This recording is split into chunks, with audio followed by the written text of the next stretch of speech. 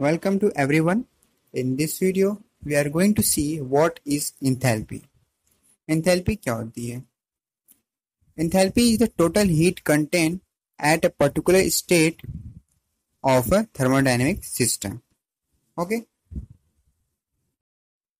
Now what is state? As you know, if we take two property on x axis and y axis and take a point one, this one, okay.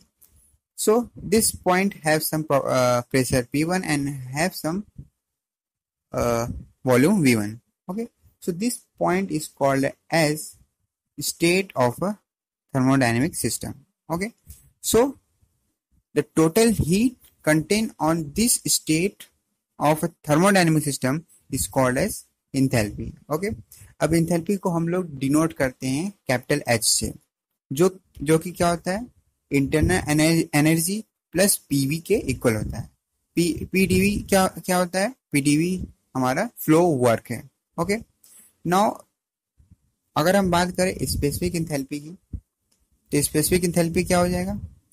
Specific enthalpy हो जाएगा total heat content at a particular state of thermodynamic system in one K G of substance okay तो specific heat जो हमारा होता है, उसको हम लोग डिनोट करते हैं स्मॉल एच से।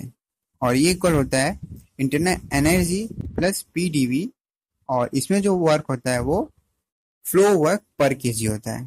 Okay